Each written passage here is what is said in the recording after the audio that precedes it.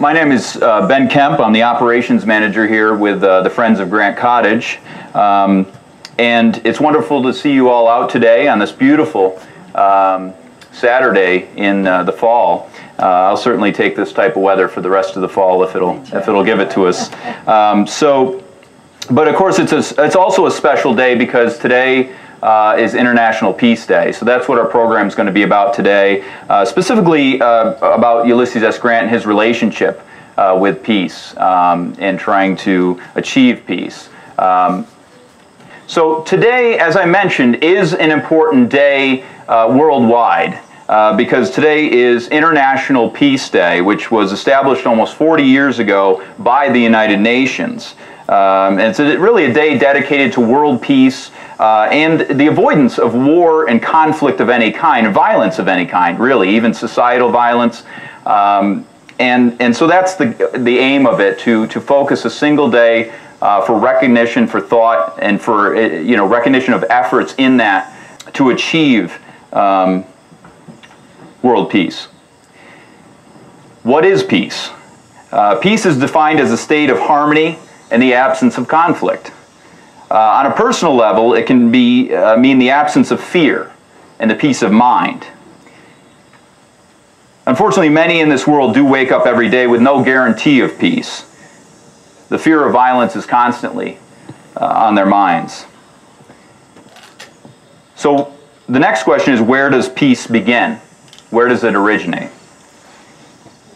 I think most would agree that peace originates in the hearts and minds of people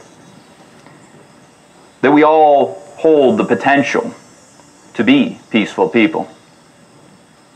And I think these realities were all known to that soldier named Ulysses Grant. And he grasped these realities and he lived by them. The fact that a man who encountered the inhumanities of war that could easily turn something, someone into a cynical, cold, and uncaring person was able to maintain his sensitive, caring nature, it's a testament to inner peace. It was a there was a powerful reality that Grant was going to have to face head on.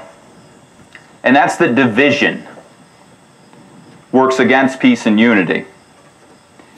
Ulysses S. Grant, like most Americans in the 19th century, in the antebellum watched as slowly and painfully the country became divided. But Grant was not one to stand aside.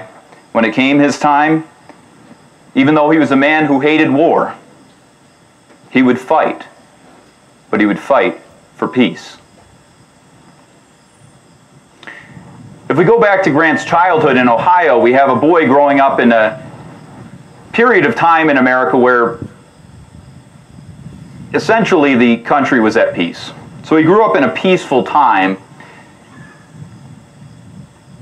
Major sectional divisions and political conflicts were still under the surface. They had not surfaced uh, to the extreme that they would in later decades.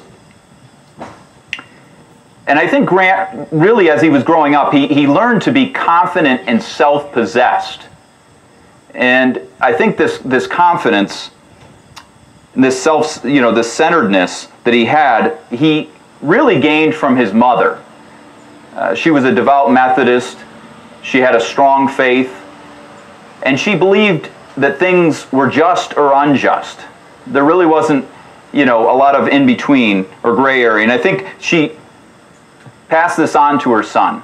And I think that's really where he was. That's why in later years, when he's trying to navigate war and strife, to reestablish peace, it's this confidence in the justness of what he's doing and the rightness of what he's doing that really allows him to remain strong.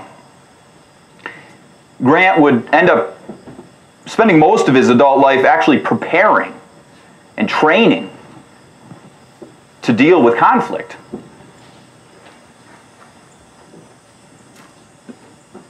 He was involved in the Mexican American War in his 20s, the Civil War in his 40s, and the Native American conflicts in later years. Despite encountering so much war, division, and strife, he was still able to keep the hope of peace alive in his heart. And we see that in different statements he's going to make. And I'm going to share some of these personal statements that Grant made in letters and in public statements to the public, to the American public, showing that he was truly, underneath it all, a man of peace. You get the caricature of Grant, the tough guy, stern face, you know, cigar chomping, tough guy general. That's what you get from an image of Grant. But Grant was a very sensitive man. We, we go over that here at Grant Cottage, how much of a caring, loving family man he was. And that's just a glimpse into Grant's personal nature. And that's important. His sensitiveness really is important when it comes to focusing on peace and, and trying to work towards it.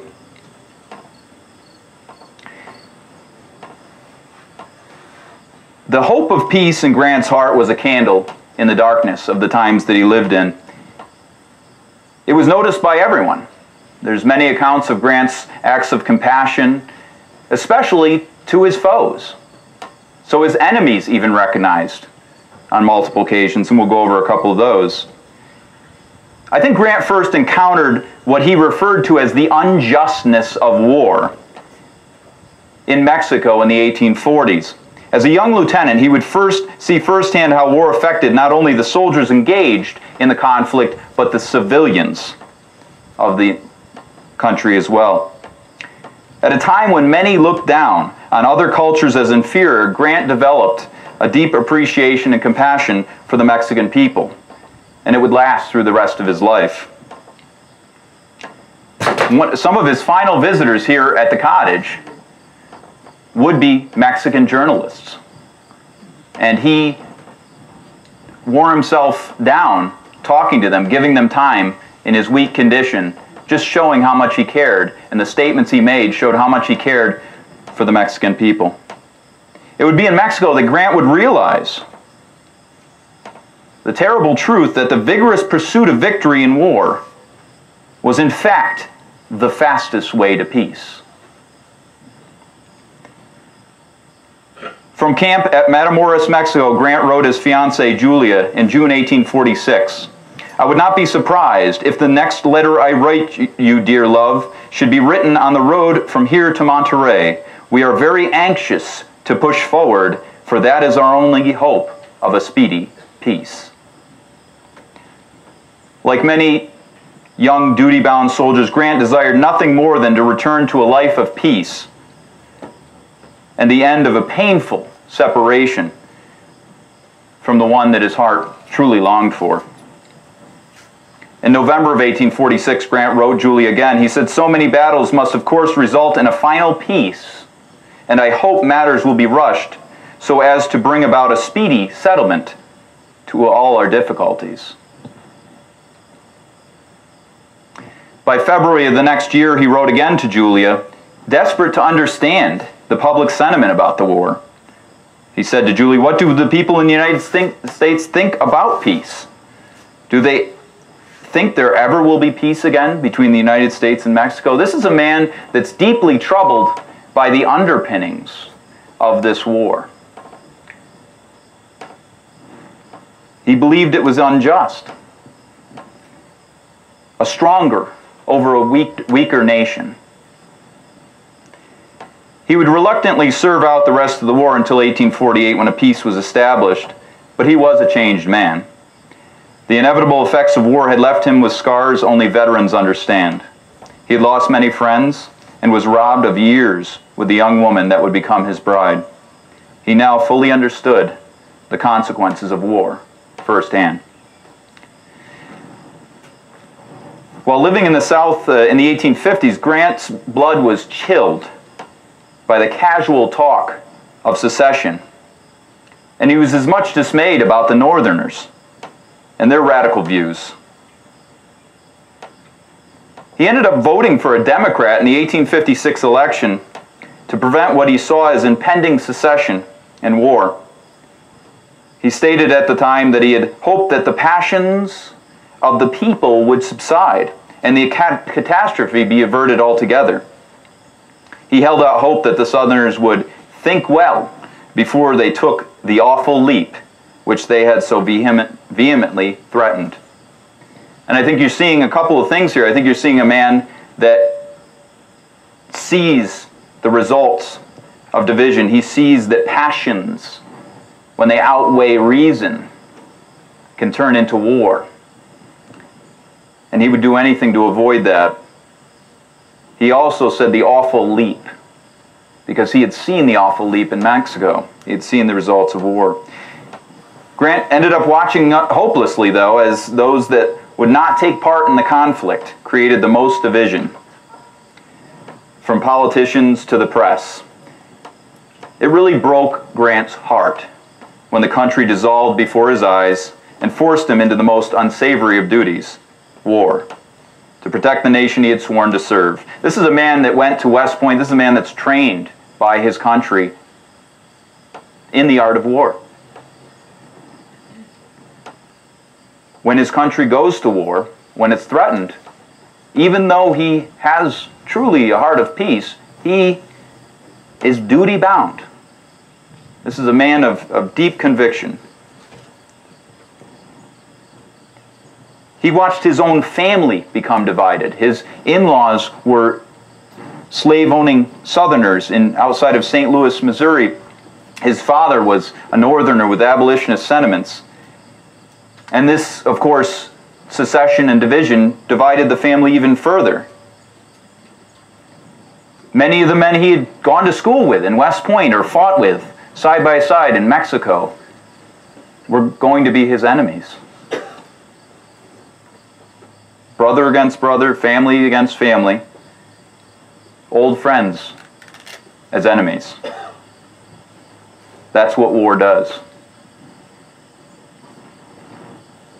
At his first major victory at Fort Donelson, you start to see this is in 1862, in early 1862. The war hasn't been going on that long, but long enough for people to start to realize this is not going to be a 90 day war. This is going to be a longer war, and it's going to produce a lot more casualties. And Fort Donelson was a wake up call. So Grant he really showed his compassionate nature, but his, he showed his view towards the Southerners at this surrender. He forced the surrender of the fort. And then when he was asked about the formal surrender ceremony, this was still back in the days when you had formal surrenders, swords being handed over, and supposedly chivalrous behavior of war.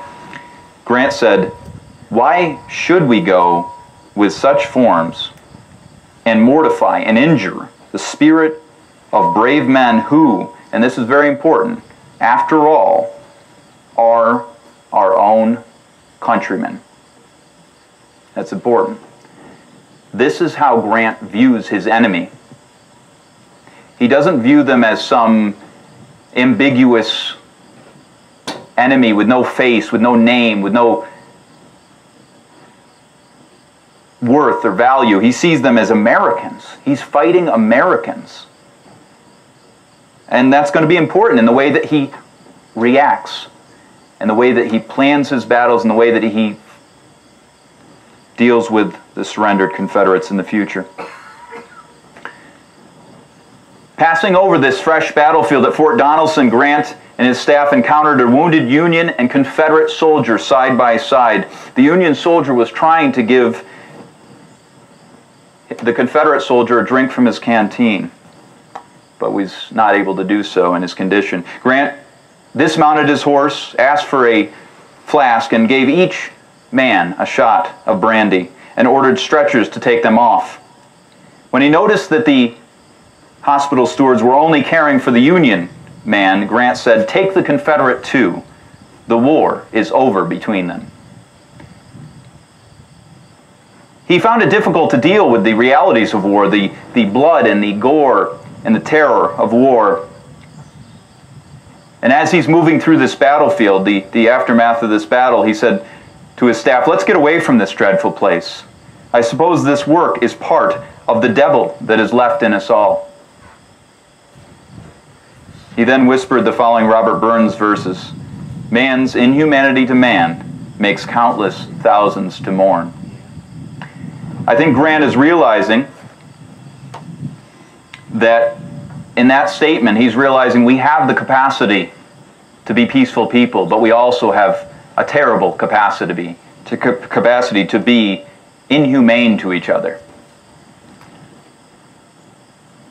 After the shockingly bloody Battle of Shiloh later in the spring of 1862, Grant endured a torrent of negative press that threatened his military position. And he learned quickly, because this was his first time really engaged with the press during wartime, that the press themselves can be can serve to unite or to divide. And in this case, they were inflaming the, inflaming the passions that had already contributed to the division that was causing this war. General Sherman wrote to Grant in the same vein in the spring of 62. He said, There is a power in our land, irresponsible, corrupt, and malicious, the press which has created the intense feelings of hostility that has arrayed the two parts of our country against each other, which must be curbed and brought within the just limits of reason and law before we can have peace in America. Grant really looked to Sherman for advice, and Sherman had quite a perspective, quite a strong pers perspective if anybody knows Sherman. Uh, but certainly, um, what he's saying here is true, though. Uh, we all know this. It's still true today that the press can be uh, a force of good or it can be a force of division. Until the end of 1862, there was still, politicians in the North were still holding out hope that they could turn states back to the Union. There was this, this, this hope that you know, communities had enough union supporters in the South that they could flip entire regions, maybe entire states. Um, everybody knows this, maybe the situation with West Virginia. So there, there was there was hope that by turning some of these states, but by the end of the year, it was clear that that was not going to happen. There was not going to be a, the the idea of a negotiated peace was fading. He recognized the stubborn determination of his foe could only be dealt with in one way. Just like he had seen in Mexico, he wrote to his commanding officer Halleck, General Halleck, in March of 63, There is now no possible hope of a reconciliation with the rebels. The Union Party in the South is virtually destroyed. There can be no peace but that which is enforced by the sword. We must conquer the rebels or be conquered by them. It was black and white. He, he was not spewing hatred. He was just stating the obvious. How can we attain peace in the quickest way?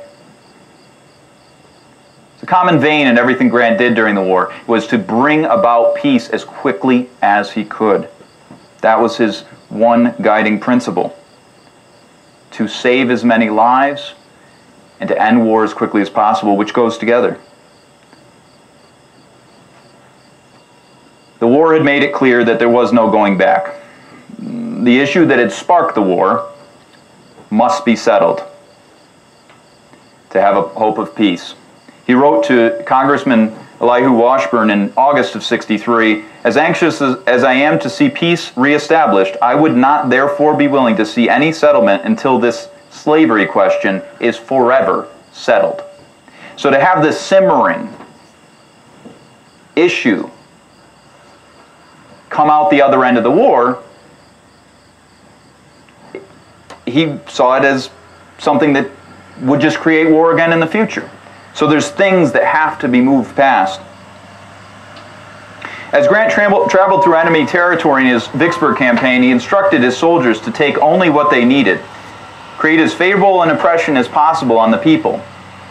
He watched as Vicksburg fell, and I think he saw these bits of humanity in this inhumane war. He, he saw the men taking bread from their haversacks and giving it to the enemy. They had so recently been engaged in starving out. These incidents must have helped Grant hold on to the ultimate faith in humanity that he held out to the end of the war.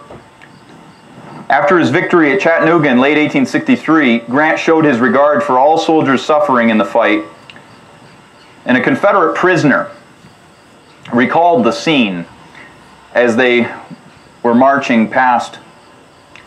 When General Grant reached the line of ragged, filthy, bloody, despairing prisoners, he lifted his hat and held it over his head until he passed the last man of that living funeral cortege. He was the only officer in that whole train who recognized us being on the face of the earth.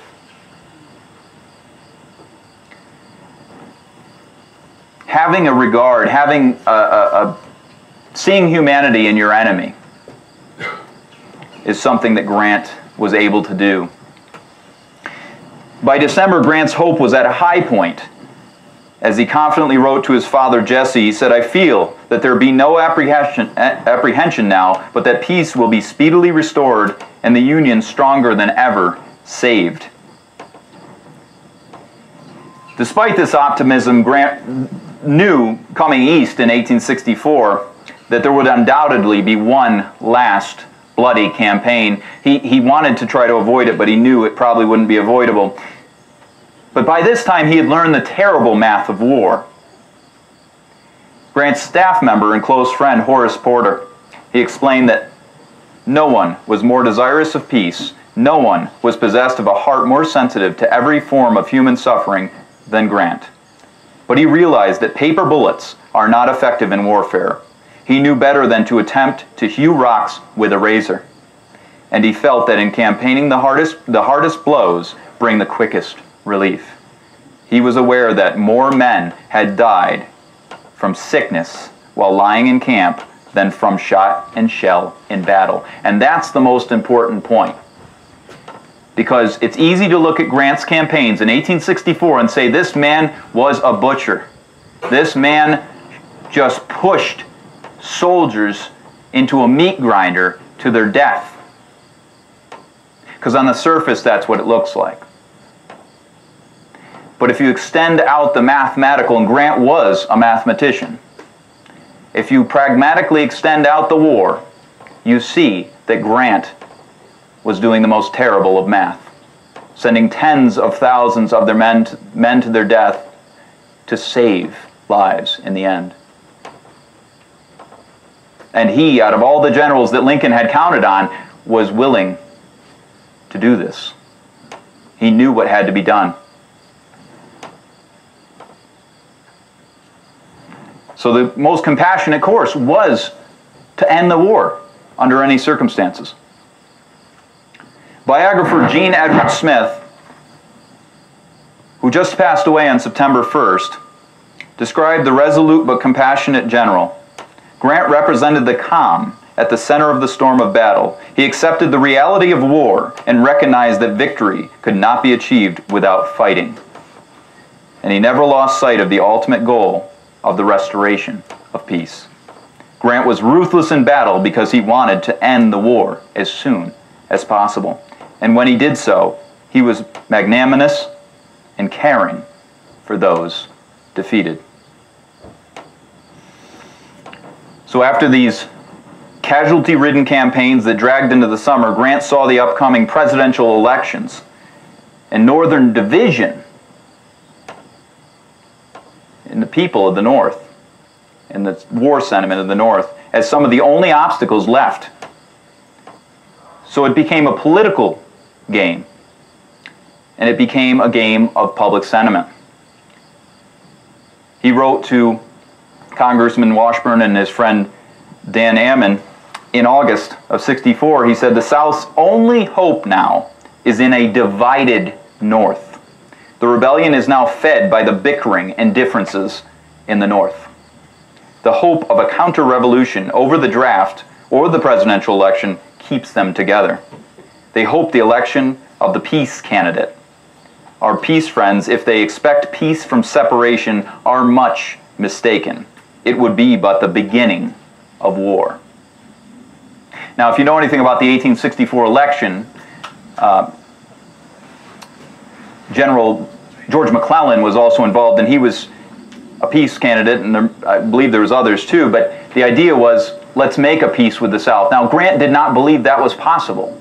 He did not believe that that would truly be peace, or it certainly would not be a lasting peace. It would simply be a truce until another state or another country tried to break. So there was a precedent being set here. And Grant knew that this division, the peace uh, to break us into two countries, would have been a division. So it goes against the idea of unity being a grounds, the groundwork for peace. And I think Grant really um, saw that.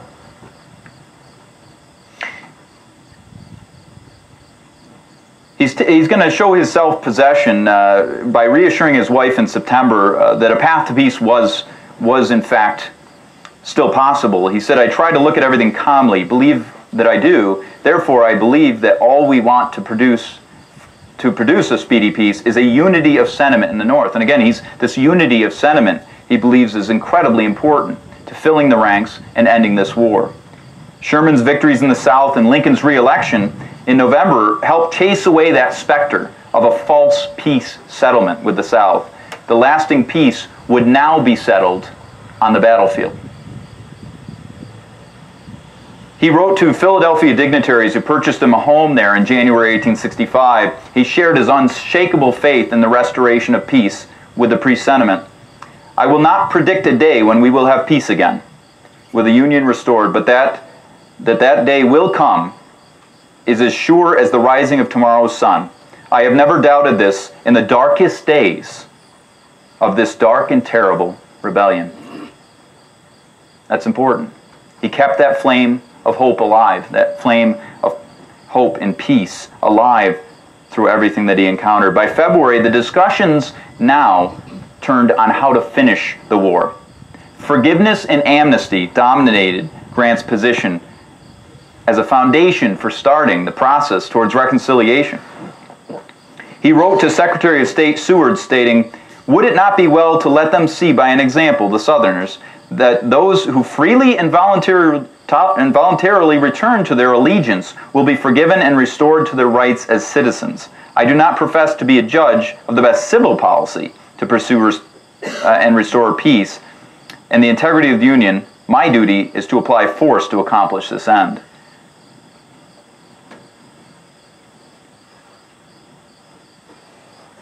He's saying they can come back already. It's the war's not even over. He said if they if they want to come back, we are going to accept them back. In February and March, the Confederacy tried a couple of times to, to, to host peace talks. Um, but Grant and Lincoln saw them for what they were. They, they were desperate last ditch attempts at, a, at what they looked at as a false peace. Grant clearly saw the Union cause as what he called the side of peace and had determined that the dissolution of the country desired by the Confederacy would only lead to perpetual war. And there was some reason to believe that. He had seen other empires and countries throughout history illustrate that fact. In late March, Lincoln visited with Grant, Sherman, and Admiral Porter on board the River Queen near City Point, Virginia, and they discussed the anticipated ending of the war. Lincoln made his position very clear. He wanted generous terms, allowing the Confederates to go back to their homes and work on their farms and in their shops. He knew they would be busy rebuilding, too busy rebuilding their lives to take up arms again. And it was best to just let them go, officers and all. I want submission and no more bloodshed. This is what Lincoln's telling them. I want no, no one punished. Treat them liberally all around. We want those people to return to their allegiance to the Union and submit to the laws Lincoln would make a stop at a nearby hospital, visiting both Union and Confederate wounded in an act of impartial compassion. This idea of letting the Confederates off easy, as most a lot of Northerners would, would, would say, um, was built on the foundation that if you seek retribution, you are just going to inflame the passions again, and these men are going to fly, fly to the hills and operate a guerrilla war for years, and more men will die, and peace will never be established uh, for many years. To General Grant or to General Lee, on the final campaign in the spring of 1865, he says to him, "Your note of last evening. They're they're exchanging letters about the the possible surrender of the Army of Northern Virginia." In reply, I would say that peace being my great desire, there is but one condition I insist upon, namely that the men and officers surrendered shall be disqualified for taking up arms again against the government of the United States until properly exchanged. And after a little bit of posturing by General Lee, he, uh, he added in a later note, I am equally anxious for peace with yourself, and the whole North entertains the same feeling. The terms upon which peace can be had are well understood. By the South laying down their arms, they will hasten that most desirable effect, save thousands of human lives and hundreds of millions of property not yet destroyed, sincerely hoping that all our difficulties may be settled without the loss of another life. So he would meet Lee with Lee at Appomattox, Palm Sunday. Lee had no idea what Grant may pose in his terms. And he was greatly relieved at these generous terms for a couple of reasons. Grant really followed the path prescribed by their Lincoln in their earlier meeting a few weeks before. Pursuing peace requires being sensitive to the needs of others. Grant knew most of the Southern men faced difficult lives ahead. Rebuilding their lives. So his terms echoed Lincoln's magnanimous offer to have all the Confederate soldiers paroled with no punishment and the ability to take their horses home to work their farms. Lee realized the gravity of Grant's terms, stating, This will have the best possible effect upon the men. It will be very gratifying and will do much toward conciliating our people. The hungry, Confeder- hungry Confederates desperately needed provisions, which Grant humanely offered to them. It was a new world dawning for America, and Grant chose to start it on a note of reconciliation and not retribution. After four long, bloody years, peace was finally in sight for America. Grant knew that the path to peace was paved, paved with healing and acceptance would not be finished overnight, but it could begin immediately. Grant's staff visited their old Army friends, and Grant himself visited with his old friend James Longstreet ready to forgive all and pick up where they had left off. Grant would stop the celebratory salutes of his army and stated, The rebels are our countrymen again. Grant saw the positive effect of this on the Southerners and optimistically wrote soon after the surrender to Secretary of War Stanton, he said, If proper advantage is taken of the present feeling in the South, I am greatly in hopes that an early peace will be secured. You have to remember at this time, when he took this surrender of General Lee, there was still Confederate armies that had not surrendered yet. Sensitive to the dejected condition of the Southerners, Grant also, after being requested numerous times, refused to enter the conquered city of Richmond, Virginia, stating that his visit would only wound the feelings of the residents, and we ought not to do anything at such a time which would add to their sorrow. Only days after the surrender, President Lincoln's assassination threatened the peaceful nature of the ending of the war. It once again inflamed passions, and there were cries for vengeance. Even Grant, uncharacteristically, overreacted, ordering the imprisonment of Confederate officials and soldiers, only to remand it soon after. He wrote to Julia in the end of April from North Carolina the realities of Reconstruction and that there was no room for vengeance. He said, The people are anxious to see peace restored so that further devastation need not take place in the country. The suffering that must exist in the South the next year, even with the war ending now, will be beyond conception. People who talk now of further retaliation and punishment either do not conceive of the suffering endured already or are heartless and unfeeling and wish to stay at home out of danger whilst the punishment is being inflicted. Grant, it would be Grant in June of 1865 who would place his career on the line to defend former Confederate officers on from trial. He knew that retribution was not the path to peace, but instead to bitterness, division, and more conflict. He faced down President Johnson on the matter, threatening resignation, causing Johnson to back down. Many in the South, including General Lee, would not forget this honorable gesture of peace. Grant clearly saw his foes in a compassion as he shared his views with Secretary of War Stanton in June. He said, My opinion was firmly fixed long before the honor of commanding all our armies had been conferred on me, that no peace could be had that would be stable or conducive to the happiness of North and South until the military power of the rebellion was entirely broken. And this is, this is him saying this again believing us to be one people, one blood, and with identical interests. I do, I do and have felt the same interest in the ultimate welfare of the South as of the North. These views have been kept constantly before me and orders given and campaigns made to carry them out. How well it has been done is for the public, who have to mourn the loss of friends who have fallen in the execution, and to pay the expense, pecuniary cost of all this, to say. All I can say is the work has been done conscientiously and to the best of my ability. It has been done in what I conceive to be the interest of the whole country, North and South. Let them hope a long peace and future harmony with that enemy whose manhood, however mistaken their cause, drew forth such Herculean deeds of valor. The wisdom of Aristotle proved all too true in the tumultuous days of Reconstruction ahead. He said, It is not enough to win a war, it is more important to organize the peace. Grant would have the tremendous responsibility of negotiating the military occupation of the South in the years, in the volatile years after the war. He would face violence against recently freed slaves as they sought to exercise their new freedoms. He knew true peace required equality, which he committed himself to. In May of 1868, Grant accepted the presidential nomination, something he had never sought. He accepted it out of a sense of duty alone and a concern over what may happen under an unfit president. Grant was not going to allow what had been gained through the thousands of deaths, the sacrifice of war, to be forfeited. He would see that the new birth of freedom and peace would be maintained. He responded to the nomination, putting four words at the end of his letter that would come to symbolize the truest desire of his heart.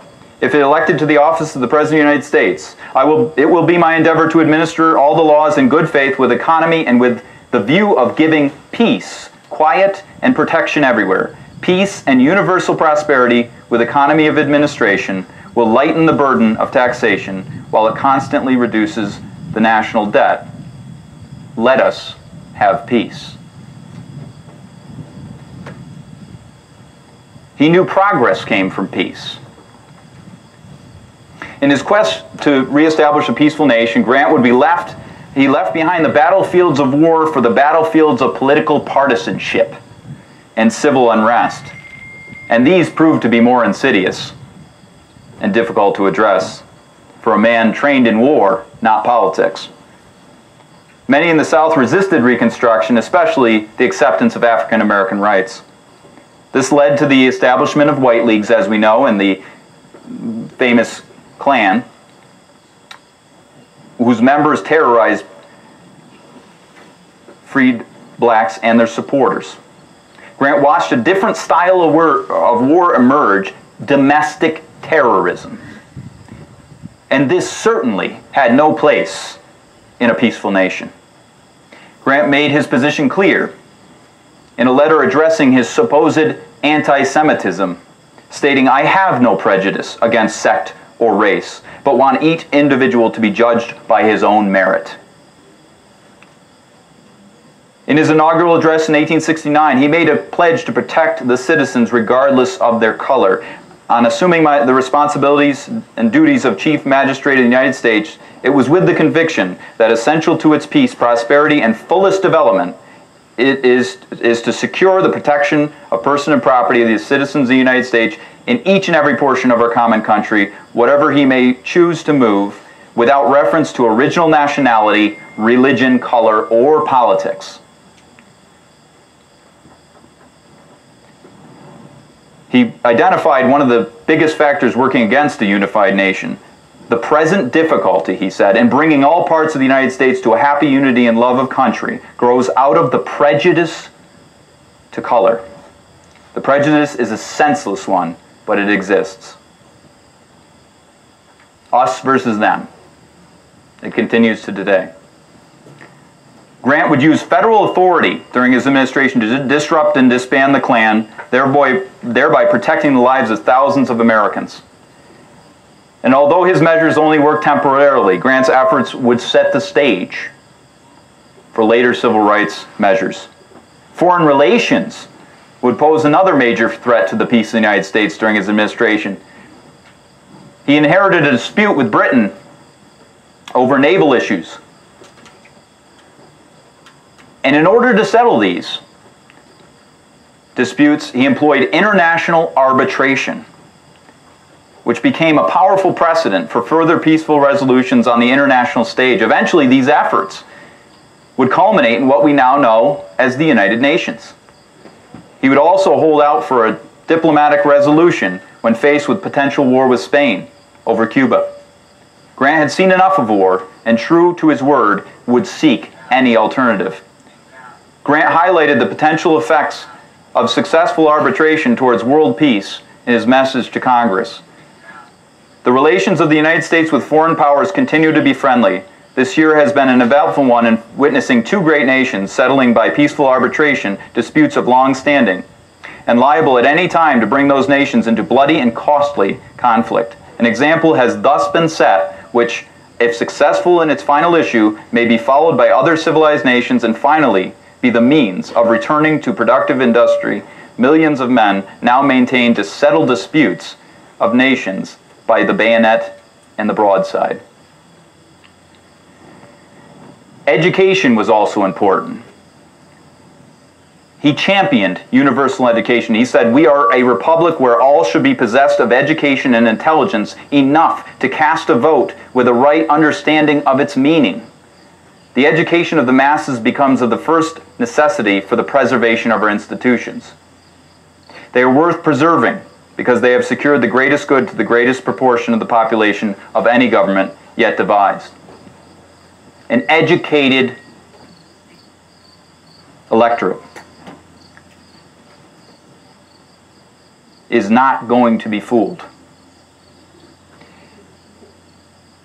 In his second inaugural address in 1873, Grant would share his vision for world unity and peace, saying, I believe, this is a very strong statement, I believe that our great Maker is preparing for the world, or, I'm sorry, is preparing the world in his own good time to become one nation, speaking one language, and when armies and navies will be no longer required.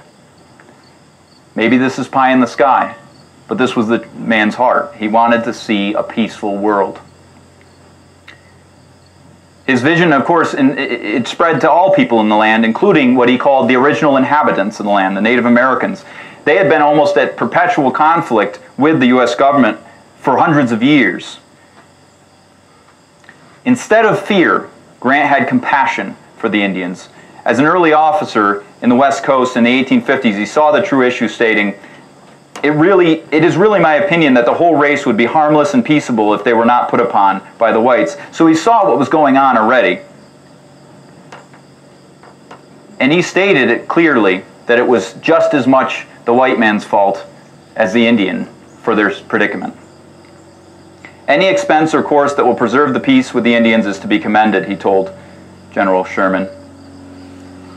Grant saw the dark side of human nature in the treatments of the Indians, stating, A system which looks to the extinction of a race is too horrible for a nation to adopt. He knew respect and dignity for all fellow humans was a hallmark of peace, as President Grant decided to take bold actions to try to establish a peace path for the Native Americans to become U.S. citizens. He worked with his former staff member, a Seneca Indian himself, Ely Parker, to craft a plan later termed the Indian Peace Policy, to protect and establish a lasting peace with them. He stood firm on his reasoning. I recommend liberal appropriations to carry out the Indian Peace Policy, not only because it is humane, Christian like, and economical, but because it is right. President Grant asked the people for support for his peace policy, knowing the public will was needed to make any of these things successful in achieving a peace. Of course, he encountered setbacks. The public was not ready to accept Native Americans and others. But he did everything he could to move it forward. He had championed peace for his nation through two difficult terms. And on his world tour that followed, now even though he was an ex-president now, he engaged in diplomacy on, the behalf, on behalf of his nation. As I mentioned, we'll be having Mary Stockwell come in October so you're going to want to see that. She's going to get into more detail about what we just, what I just mentioned. But as I go into uh, mentioning a little bit about Grant's world tour at the end of his life, there's also a book called Citizen of a Wider Commonwealth: Ulysses S. Grant's Post-Presidential Diplomacy. It sounds boring, but it's actually good. Uh, so it's not the snazzy name that you usually get, but this is a great study on those few couple of years where Grant ran around the world and shared his vision for world peace and how to attain it especially through international arbitration.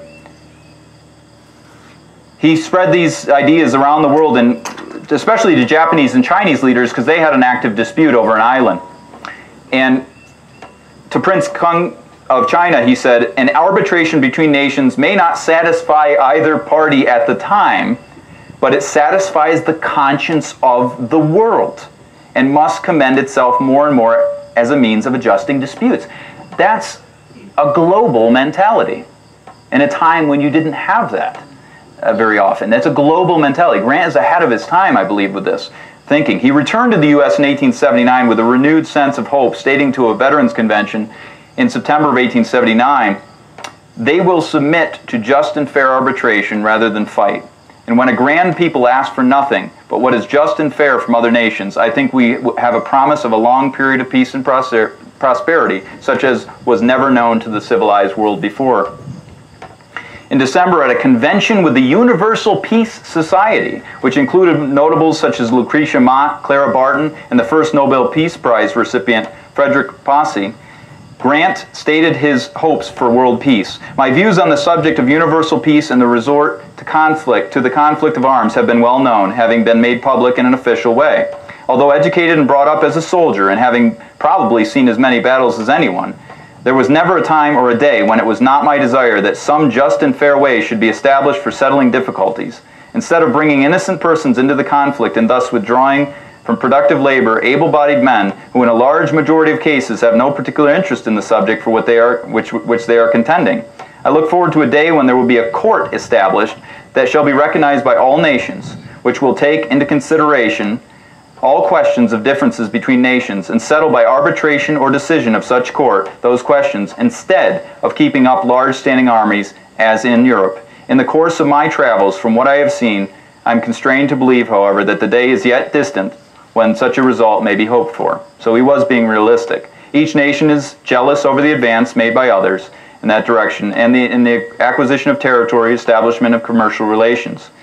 I did not think, however, though, that this should be any cause for abatement on the part of the Universal Peace Society, that they, what they look forward to is a great reform, and such reforms are never accomplished in a day. I only wish it was susceptible of a speedy resolution, but as I remarked, I do not think it is.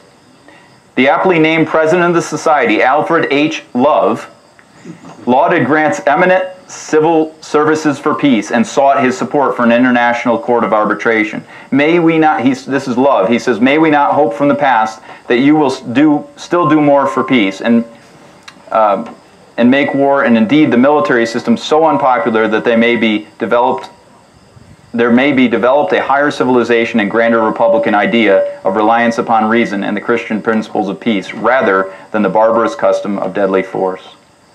Grant received a drawing of Lucretia Mott, who was unable to attend, stating, The life and history of Lucretia Mott are well known in this country, as well as abroad. I have had the pleasure of meeting her and appreciate her devotion to the cause of peace very highly.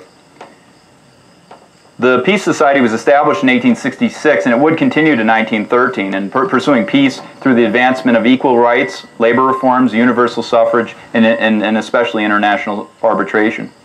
And Grant would enjoy a few peaceful years with his family before tragedy struck. And as you know, losing all his money, he was forced to write his memoirs in a desperate bid to provide for his family. while struggling against terminal uh, cancer. He would know no real peace in the final months, but his endless devotion to his family drove him on. His deep desire to see his nation healed and to become re reunited seemed to be coming true in his final months. He wrote on a slip of paper, My expected death has called forth expressions of kindness from all the people of all the sections of this country. It looks as if my sickness has had something to do to bring about harmony between the sections. It has been an inestimable blessing to me to hear the kind expressions towards me in person from all parts of the country, from people of all nationalities, religions, Confederate and national troops alike, embracing almost every citizen in the land. They have brought joy to my heart. One of his final visitors here at Grant Cottage exemplified this. Simon Buckner, a former Confederate general. Buckner visited with Grant here in the House. He pledged his support, but also the support of the Confederate veterans. Grant saw all veterans of the war as Americans. He did not agree with their cause, but he saw them as Americans. He wanted the press to carry this story in the papers. He shared the following note that made it into the papers, and this is an excerpt. He said, I have witnessed since my sickness just what I have wished to see since the war harmony and good feeling between the sections. I have always contended that if there had been nobody left but the soldiers, we would have had peace in a year. We may now well look forward to a perpetual peace at home and a national strength. And I think that was his hope, his final hope. He desired the messenger of peace to relieve him of his sufferings. After fulfilling his final duty to his family, Grant died peacefully, surrounded by his family in the parlor here. True signs of healing and respect would follow his passing as Confederates marched in his New York City funeral, and two of his pallbearers were former foes, Generals Buckner and Johnston. A true sign of, unity and respect at the end. In his final sentiments in his memoirs, Grant showed his true hope for peace for his nation.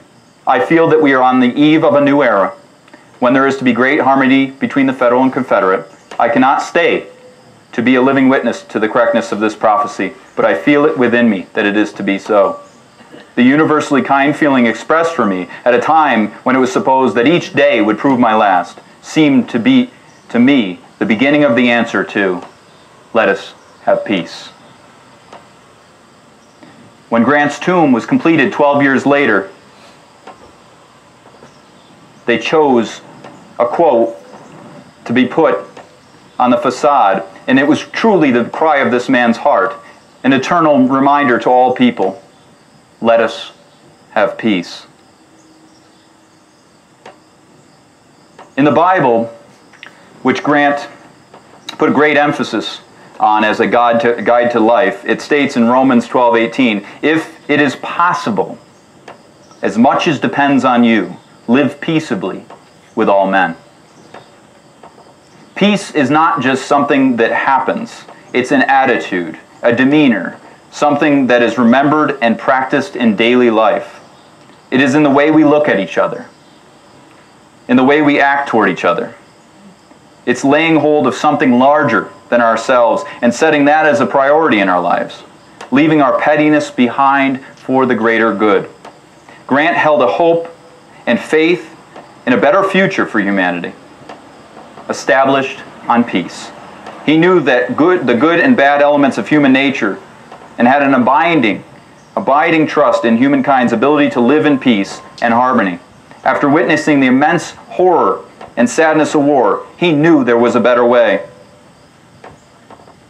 Though I have been trained as a soldier and participated in many battles, there was never a time, in my opinion, some way could not be found to prevent the drawing of the sword.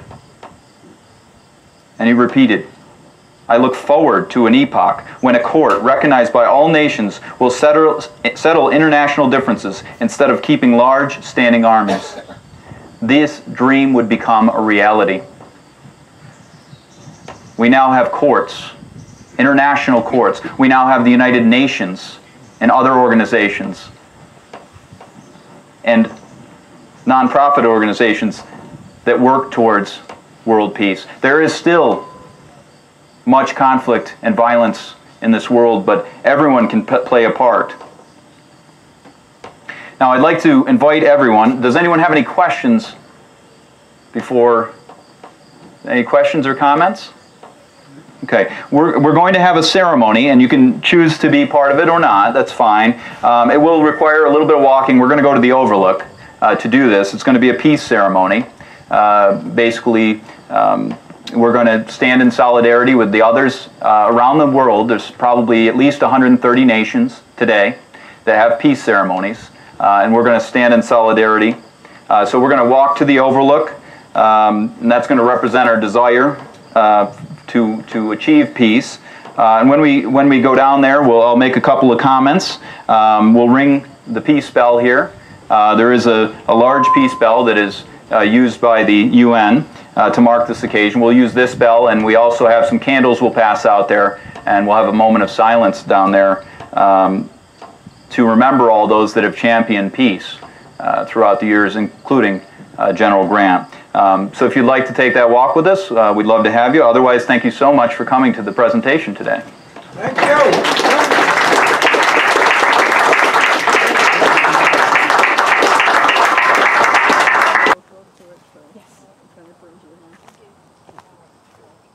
goes one way. There we go. Alrighty, so alrighty, so we're gonna we're gonna ring this bell in solidarity with the bell that is, is being rung today around the world. It's going to be a symbol of our desire for world peace, our desire to end violence and conflict in this world. And we know that it starts with us and what we can do to be part of it. But it it also has everything to do with the way that we regard each other and how we regard the rest of the world. So we're all part of the human race, and we're all in this ship together. And I think that's, if we can stand on that foundation, world peace could, can be a reality. And I think Grant desired that. I think the men who fell in the wars have all desired peace. They desired to go back to their families in a peaceful time. In a way, they were all fighting for peace. And so we recognize them, and we recognize all those who have come before us that have desired peace. Some of them have lost their lives in their efforts for peace, and we recognize them today with a moment of silence.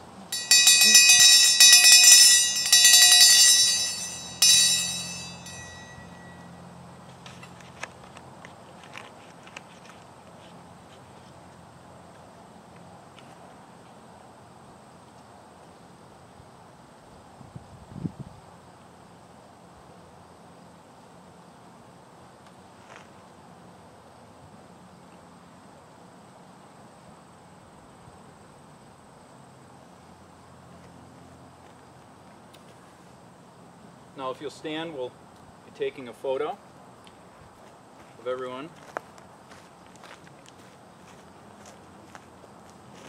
I can imagine it probably warmed Grant's heart to see this peaceful valley here of farmers three days before he died. And we get to look out on the same peaceful the same peaceful valley because of the efforts of him and countless other soldiers to keep us united to avoid war here in our country.